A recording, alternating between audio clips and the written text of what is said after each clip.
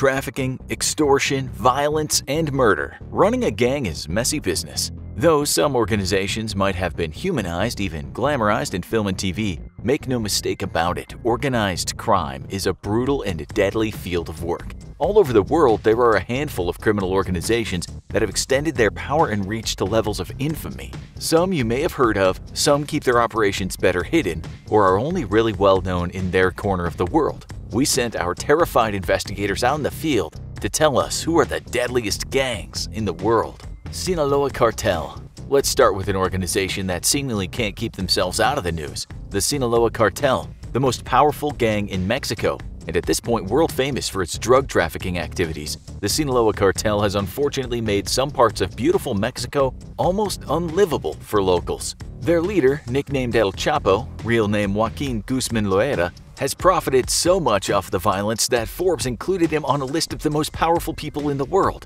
Loera ran Sinaloa with an iron fist and was so well connected and powerful, corrupting so many of the country's politicians, judges, and policemen that he managed to escape high security prisons twice. In fact, the Sinaloa cartel is so unafraid of legal repercussions that they post videos of their murders online to serve as warnings to rivals. The cartel has been directly or indirectly responsible for the deaths of tens of thousands of people, at least. Just one turf war with Juarez cartel over control of Ciudad Juarez trafficking routes resulted in the deaths of 5,000 to 12,000 people. Many people seem to think Mexican cartels operate mainly between the US and Mexico, even though the Sinaloa cartel has allegedly permeated both the US and Mexican federal governments. Their reach is much more global. Currently, the Sinaloa cartel has a 60% stake in the US-Mexican drug trade, profits of about $3 billion per year, and markets ranging from next-door neighbors to Russia and Australia. Solntsevskaya Bratva if a gang is feared by Russians, you know it has to be one of the world's deadliest.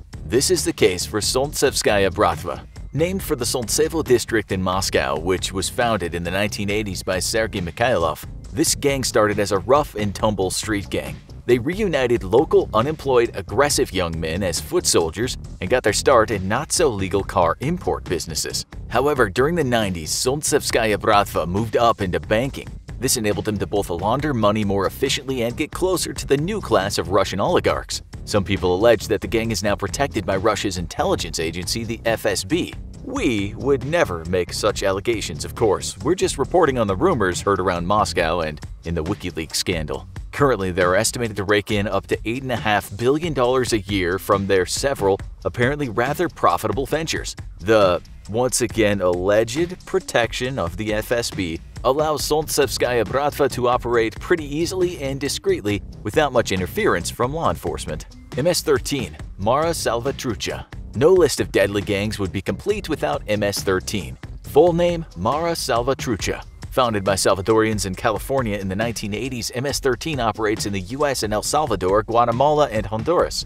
They have approximately 50,000 to 70,000 members, with an estimated 10,000 of them in the US. MS-13 is by no means an enormous gang, especially in the US. The Justice Department estimates that they account for less than 1% of all US gang members. They also don't control a significant part of the drug trade. Unfortunately, they are particularly well known for their extreme violence, which frequently gets them placed in nationwide headlines. However, those who intensely study and report on MS-13, including Hannah Dreier from The Washington Post, emphasize that the public widely misunderstands the group's reach, targets, and ambitions. Unlike other organized crime families whose bosses dress in $5,000 suits, many MS-13 members work minimum wage jobs in the daytime, which is why they mostly meet at night. They're not raking in profits from drugs nor are they planning high-stakes international power plays. In fact, most are teenagers or at most in their early 20s. That being said, they can be shockingly violent and brutal within their local communities. They also mostly tend to target other Latino immigrants, especially undocumented workers who don't feel they can report to the police.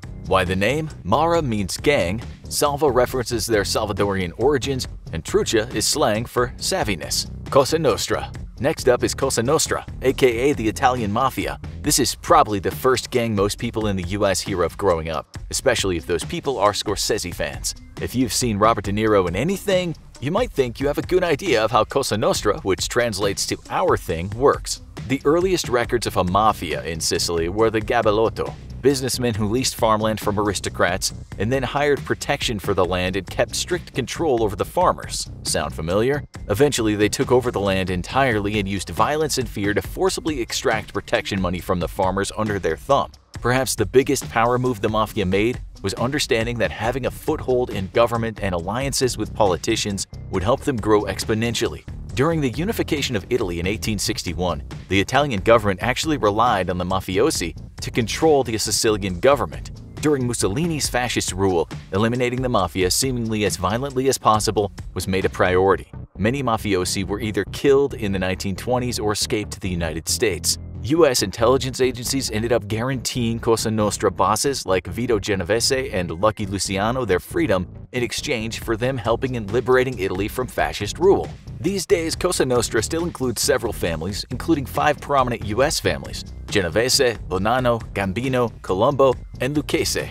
Some are allied and some are at war with each other. The mob retains around 25,000 members and 250,000 associates around the world. They mostly deal in extortion, racketeering, gambling, smuggling, and sale of illegal goods, and let's just say, settling some disputes by making sure one side is never heard from again.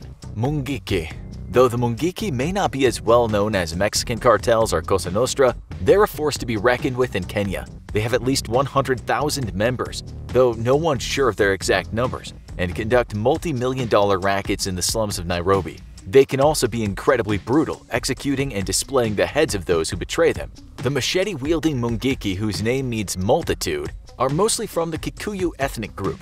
In terms of the reach of power, they're increasingly and disturbingly getting involved in politics. They've played a central role in violence surrounding many contested elections in Kenya and have slaughtered men, women, and children from other ethnic groups who opposed Kikuyu politicians. Mungiki also back election candidates and have been linked to several corrupt politicians in the Kenyan government. Kenyan police have responded equally brutal to the violence, killing Mungiki members in the streets. In 2002, Kenya announced a ban on the Mungiki, which shockingly did little to change violent gang members' minds about their group membership.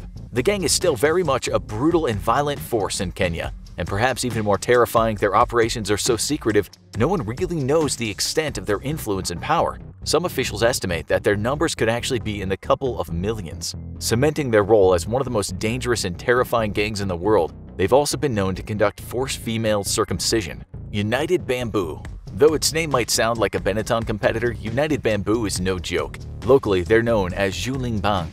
Operating mostly out of Taiwan, this group maintains networks to many major organized crime families around the world to enable their various drug smuggling and human trafficking businesses to flourish. Politically, they appear to have ties to North Korea and were originally backed by the Chinese government. United Bamboo includes 10,000 mostly ethnically Chinese members and is very adamant on silencing their opponents. They've also been known to kill journalists who look too closely into them and their operations, even as far away as California. And perhaps that's a cue for us to move on and pretend we never talked about any of this. Yakuza. Moving one country over, let's continue to look at a gang with a very different reputation, the Yakuza. You might wonder why the Yakuza are on this list. They have a more, let's say, refined reputation than most, at least as refined as criminal smugglers and murderers can be. It's generally true that the Japanese people and tourists who don't actively seek business with the Yakuza don't have much to fear from them. The Yakuza generally avoid flashy mass violence, so they can dodge too much attention from the authorities. However, the Yakuza are still an over 100-year-old organization that's heavily involved in the Japanese government, supporting and financing several candidates and parties of their choosing, Moreover, the Yakuza are one of the wealthiest gangs in the world, with estimated revenues of over $10 billion per year. Their wealth and power makes them quite dangerous to anyone who opposes them. Since Japan doesn't have an equivalent law to the RICO Act, Racketeering Influenced and Corrupt Organizations Act in the US, it's hard for the legal system in Japan to tie Yakuza bosses to the crimes of their organization. Though the Yakuza try to project a noble image in Japan with members generally dressing well and speaking politely, it's important to remember that they're still criminals responsible for thriving trafficking, prostitution, much of it forced, extortion, and other drug and gambling businesses in Japan. Aryan Brotherhood Back to U.S. soil. Founded in 1964 in San Quentin Prison, the Aryan Brotherhood has mostly been a prison gang for the majority of its existence. Though they only have around 15,000 members, a tiny percent of the prison population, U.S. authorities believe they're responsible for around 25% of all prison murders. Because their sphere of operation is mostly within jail cell walls, many citizens underestimate the power, extent, and influence of the Aryan Brotherhood. However, anyone who's been in jail is probably aware of the brutality and extreme violence this particular gang inflicts on those they hate. In fact, the Anti-Defamation League has given them the title of Most Violent Extremist Group in the US. Their neo-Nazi beliefs translate to them generally only accepting white members. Many people have to either kill or aid in the killing of another inmate to gain entry into the gang. The Aryan Brotherhood is engaged in drug trafficking, prostitution, including forced inmate prostitution, and murder for hire. We know this list of activities is starting to sound repetitive, but it turns out dangerous gangs aren't very creative with their income sources. They're also pretty easy to spot, thanks to things most of society has thankfully rejected, like prominent swastika tattoos. 14K Triad The Hong Kong-based 14K Triad gang might not be very well known outside East Asia, however it's estimated to be the second largest drug trafficking syndicate in the world, dealing mostly in exporting heroin and opium from China and Southeast Asia to the rest of the globe. In addition to the usual prostitution, weapons trafficking, etc., the 14K Triad has very effectively infiltrated Chinese police ranks and even some government offices. This not only protects their operations at home, but also enables them to extend their influence internationally. The gang operates in Africa, South America, Europe, North America, even Australia and New Zealand. People in these countries aren't necessarily safe from the 14K Triad's dealings if they stay away from drugs. The gang has kidnapped high-profile and rich families in the past, killed bystanders in Macau, and recklessly engages in drive-by shootings and car bombings. Bloods and Crips Though the Bloods and the Crips are two separate gangs that operate as enemies, we group them together as people usually don't mention one without mentioning the other.